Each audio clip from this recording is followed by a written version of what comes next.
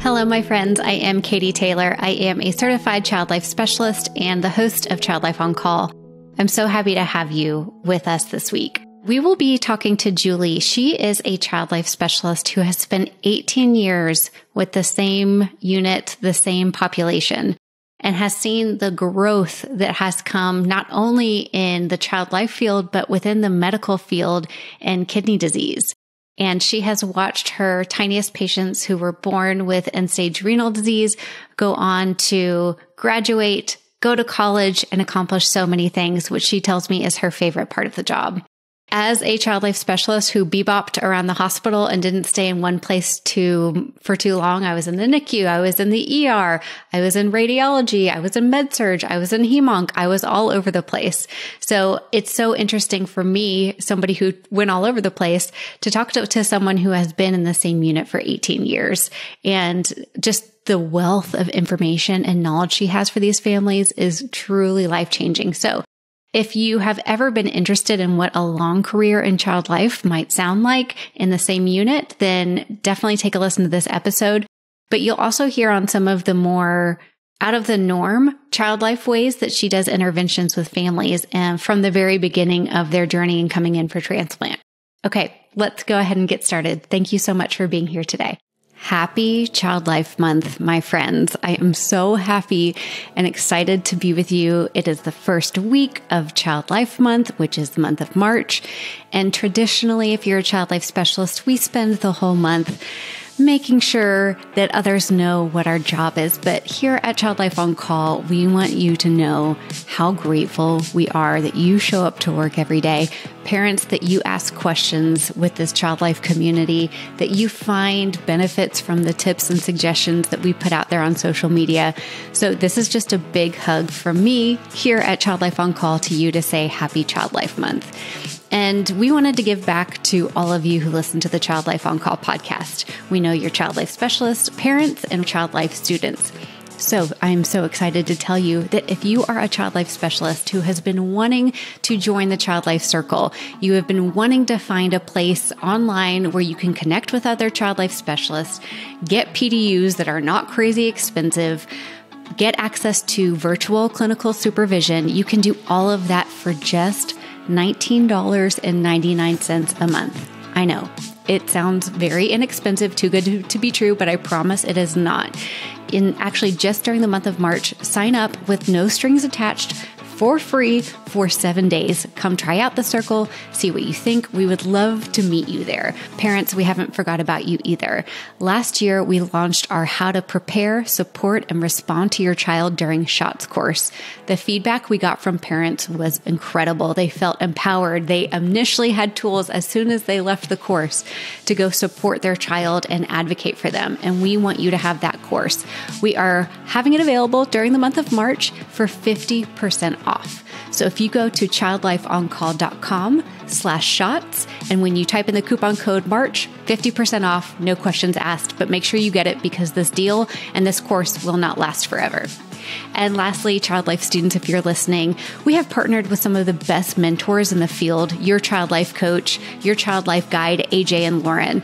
And if you come get a child life student service through us and you type in the coupon code March, then you get 10% off any of your services this month. So come join us. We would love to have you there.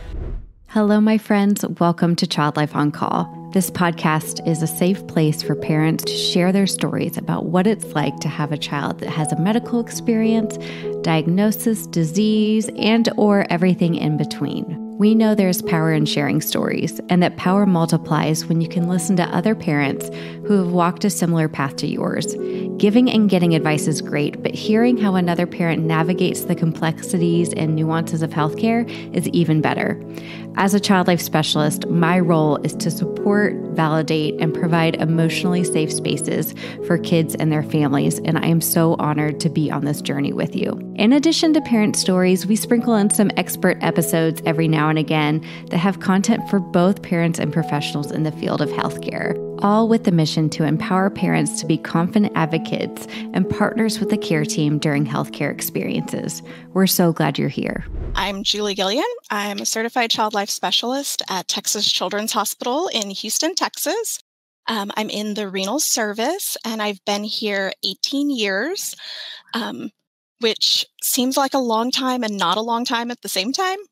Yeah. and um, I love working with the renal population. I'm primarily with renal transplant and the renal outpatient clinic, um, but also cross cover within dialysis. So have worked in all the renal areas. And how amazing to be, first of all, in medicine for 18 years and to be at one place and really just see so many transitions, not only like within our field, but alongside medicine and how families receive treatment. I bet it's been pretty incredible.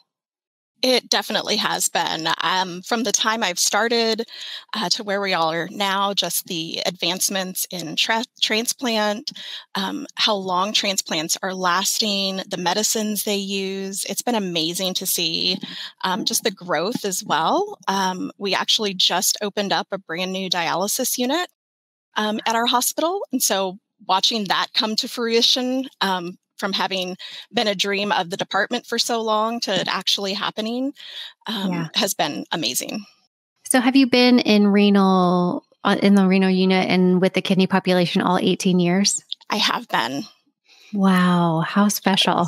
Do you yes. feel like you're an expert on all things kidneys? Um, to hear someone say that honestly still sounds just kind of a little overwhelming. Um, yeah. I feel at times, yes, I have learned so much, um, mm-hmm. but there is still so much more to learn yeah. as well. Yeah. Um, I can imagine. So Lindsay gave us gave me permission for me to mention how I got introduced to you. Um, and so we have recorded stories together before, but she'll be on the podcast um, after yours. But she and her family went to Texas Children's for a kidney transplant. And she just mentioned how important and impactful what you did for her. And she was like, Is it okay if I ask her to be on the podcast? I really want to hear more about her work and what she does and how she helps families. So you are making such an impact for families. And I'm I cannot wait to to just kind of dive into what you know and how you support families. Um, so will you kind of walk us through what supporting families in do you mostly do transplants? Do you work in dialysis? Do you do all of it? Or, or how do you support these families? A little bit of all of it. I'm not primarily in dialysis anymore because we were fortunate enough several years back to add a third position. When I started, there was two child life positions, and we added a third. Um, so I'm primarily in clinic and um, transplant, but still have some dialysis here and there and cross cover. So a little bit all over. Yeah. One of the things you wrote to me when we were um, corresponding before the the interview is you said that kidney and renal disease is often one of those kind of invisible diseases where mm-hmm. on the outside kids don't really look sick until they're really really sick and so it can be hard for families to number one process the diagnosis but also really benefit from the support of you know we can benefit from the support of neighbors and community members who maybe don't know or think their child is that sick. So true. Um, it really is one of those illnesses, those diseases that a lot of our kids, especially if they're diagnosed a little bit later, they're not going to look any different than any other kids. And so within peers, within the school system, um, I have talked to schools before and had teachers go, Well, they don't look sick. Hmm. Why, why, are they missing school? Um, we're now fortunate enough to have a school coordinator that works with schools to really help us and help our families um, get the support they need in the education system because once again they often schools will say the kids don't look sick. I'm sure they're fine.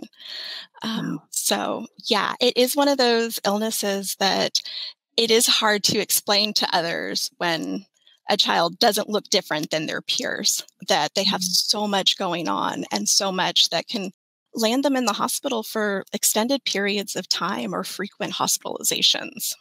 Hmm. Talk about some of the intensity of having a child with chronic kidney disease and the wear and tear that it has on families.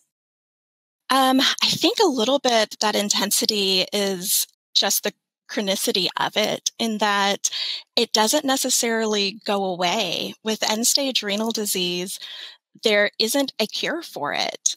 Um, you are either on dialysis or you get a transplant, but transplant's another treatment option because mm. transplants don't last forever. The life expectancy is getting longer and longer. Um, but oftentimes, our kids that get a kidney transplant will have more than one in their lifetime.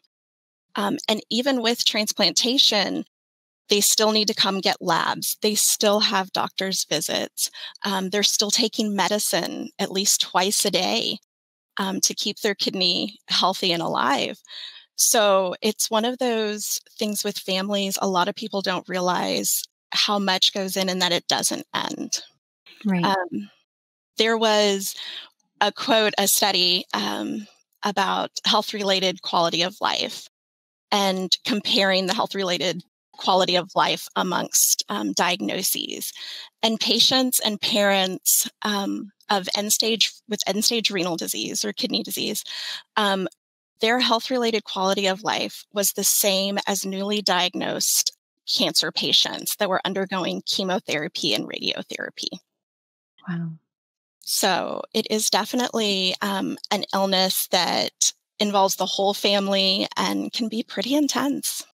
Mm. Yeah, that's so interesting. And it's really poignant because anyone can kind of imagine what it might be like for those families who are initially affected with cancer, right? Because we either have someone in our family who has had a cancer, or you know someone really, really well, or maybe you've read about them or they've happened in your community. Whereas end stage renal disease is that invisible disease that often we're not talking about and we're not knowing if a kid in class has end stage renal disease um, really as a community. But if somebody's going for, through cancer, it's recognizable because all of the external factors that change. So that is really puts into perspective what it's like for families. What are some of the um, more favorite child life interventions you do? And maybe we can start kind of from the front and get kind of nerdy.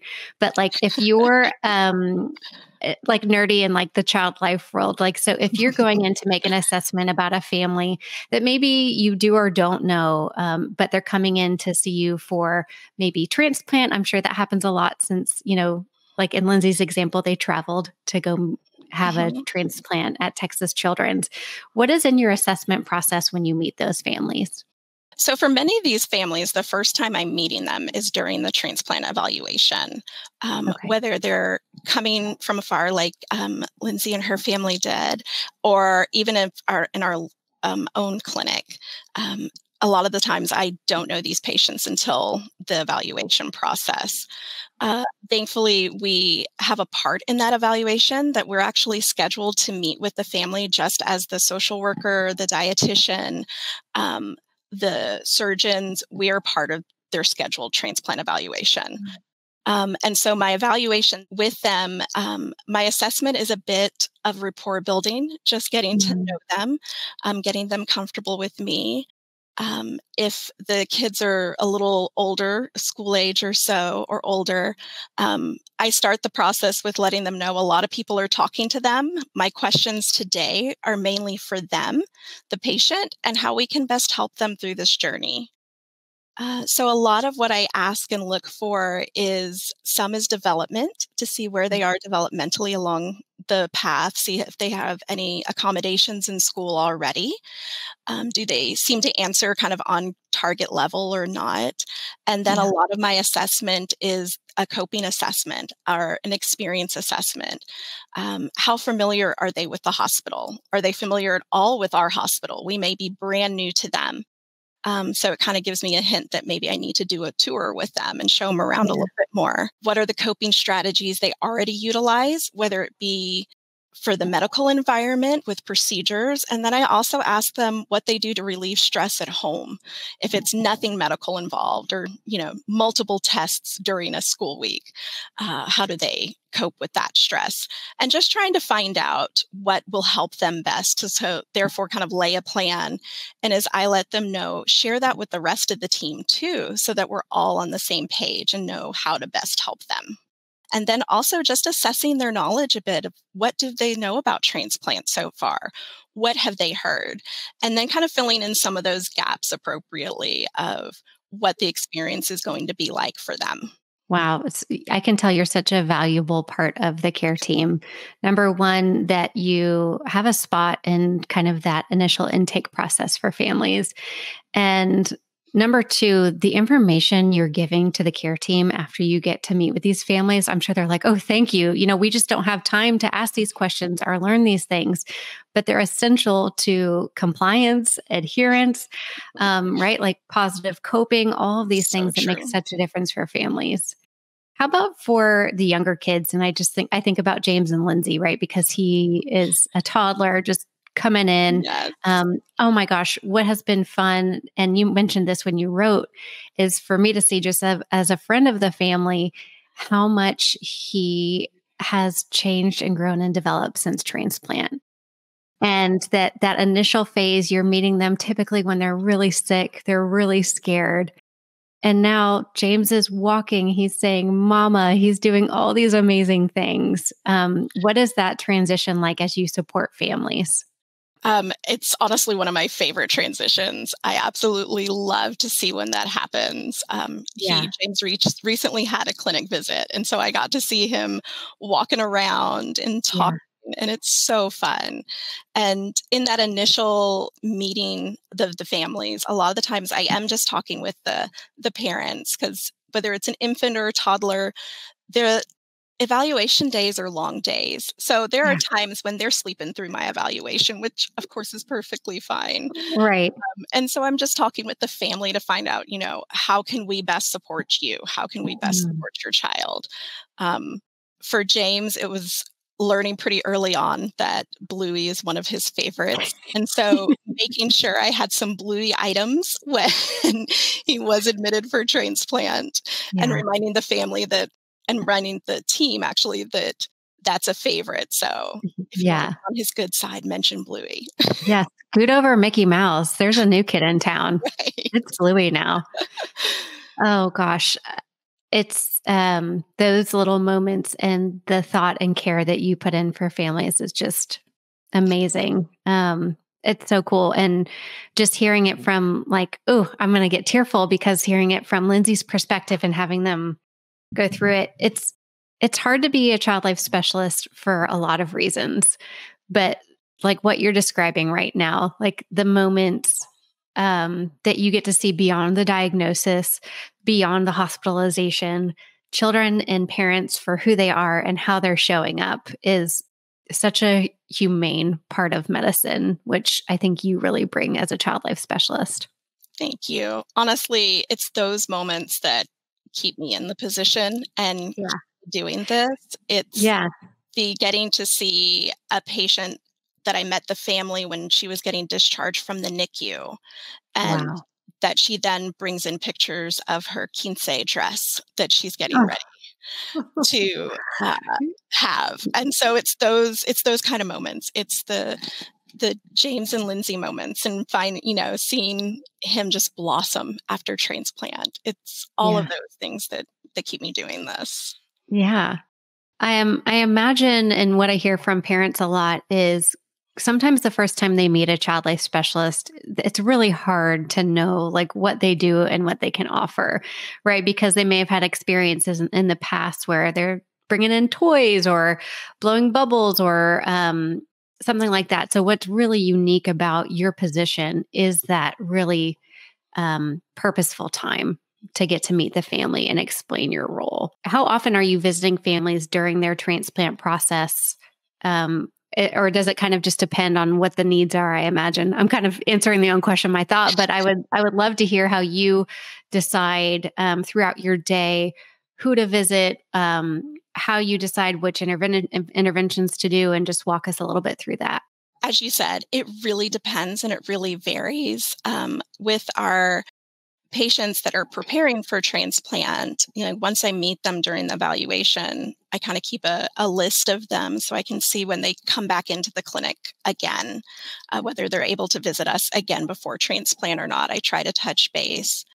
Then during the actual transplant hospitalization, um, we do multidisciplinary rounds every morning um, outside the patient's room with the surgical team, the renal team, allied health, we're all together. Um, so I kind of get an overview of how the patient is doing that day and what some needs might be. And so are able, I'm able then to plan kind of for the day mm. Of are there any procedures or those kind of things going on? Um, is the patient on isolation now and they're going to be stuck in their room? Okay, maybe we need to do something a little different or yeah. you know are they going to be on isolation long term and we can advocate and have some wonderful transplant team members that are able to advocate further up to infectious disease of okay what measures do we need to take to get them out of their room you know right, without touching right. anything or anything else but we need to get them out of those four walls yeah the four walls get quite small yeah so it's little things like that just trying to kind of plan for the day and then what else the day holds elsewhere it also yeah. depends on how much support the patient has too. If family mm-hmm. members are able to be bedside um, throughout the day, or we have families that, you know, are only able to stay for a short amount of time post surgery and then they have to go back to work or other things. And so that kind of plays into it as well. Mm. One of my questions for you that I wrote to you was if you were to have a magic wand and you could do anything for your job or for the uh, kidney population or the families that you see, what would it be and why? So, my first response, of course, is more allied health, whether it be child life, creative arts, social work, dietitian. I just think the allied health group altogether, of course, supports families so well. But I feel that's a little obvious. Um, so, I also think of kind of another dream I've had amongst other team members is for our dialysis clinic as well as our outpatient and transplant clinic all to be under one roof to be under yeah. one floor uh, at this time we're in two different buildings because both groups are large and we are a large hospital yeah. um, but because of the cyclical nature of end stage renal disease, as I mentioned before, these kids that have a transplant may not have it until they're an adult and may get more than one transplant. And in between, may need to be on dialysis. Um, right. Those that are on dialysis may get a transplant and through other circumstances may only have it five to seven years or less, and then they're back on dialysis. And just to make that transition easier between yeah. um, all the modalities, I think would be amazing um, for families. So they get to know each other, they get to see each other, and the kids too, being yeah. able to see those on both ends of the spectrum as they're going through this journey. I can imagine the medical team would love that as well. just for ease of treating and seeing families. And um, yeah, sometimes that physical space can really be a barrier um, when you have to transition literally from one place to another and have to have your mind do that too. And um. I imagine there's a lot of memories like, well, when we, the last time we were here was this was happening and now we're over here and it can be difficult. And for some of the patients, they've been on dialysis for several years and on hemodialysis, and they know that team so well, and they yeah. know the nursing staff, and that then transitioning to transplant, um, some of them do feel a loss. And right. even though they're excited about getting a transplant and excited about having a new kidney, they feel that loss of community that they had within mm. the hemodialysis unit as well. Um, so being able to help that would be amazing. And we try to have things to um, encourage some of that continuity. Yeah, well, it's it's that trauma informed lens that you that you're really looking at. Community and safety for families is so important in providing that care. Yes. What other stories or experiences do you th- want to communicate to either families who are listening that um, have kiddos with chronic medical needs or child life specialists who are interested in supporting families with long chronic medical needs? What do you want them to know? I would say for families, um, you are the best advocate for your kiddos, no matter what their age is. Um, continuing to encourage them to become um, a part of their medical team because it is their health, and especially as they grow. Um, I always tell my, if I have students or others, that, you know, my goal is for these patients not to need child life anymore because I want them to transition to adult care and be able to know how they cope best and be able to communicate those things. Um, so I feel like that for any family as well is going from that role of being the advocate and the driver to be the supporter um, mm. and helping their kids get to that point. Um, so, continuing to do that, continuing to encourage kids to be involved in events that are with the medical team in the hospital, um, because some because some of our patients don't necessarily look different, don't necessarily seem too different. Sometimes they'll shy away, especially after transplant of I've spent enough time at the hospital. I don't want to go to an event there. I yeah. I don't want to be different. Mm. But to be in a place where you aren't different, you're like everyone else there. So mm. encouraging kids to go to camps, encouraging kids to go to the teen lock in, to any kind of event that can be offered. Um, wow. Even those times they kind of resist. We tell yeah. some of our parents for some of the kids going to, to camp, we have a week long kidney camp in the summer. And they are a little resistant. We kind of tease of you drive up to the door, open the door and push, we'll catch, and we'll go from there. Love it and a lot of times that's all it takes because they go once and the next thing you know they come back when are we going again? When can we go again? Because yes. they then realize they're not different they're like everyone else that they're with mm. i think mm-hmm. that's so important. What a like common you know kind of tween or teen rite of passage that we all go through and just feeling so different than everyone and needing sometimes that push and the catch. I love the way you deliver that. So true like they're there's support on both sides. We just got to get them over the bridge. Yes, definitely.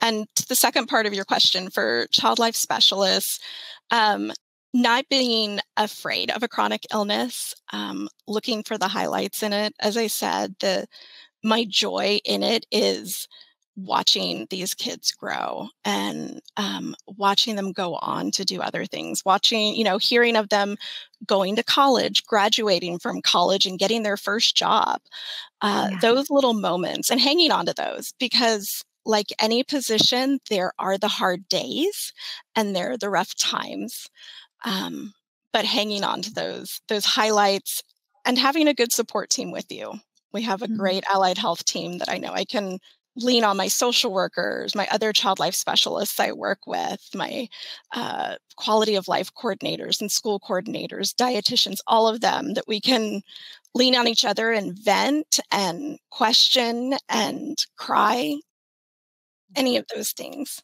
Mm, well, thank you for um, sticking with what you have done for so long.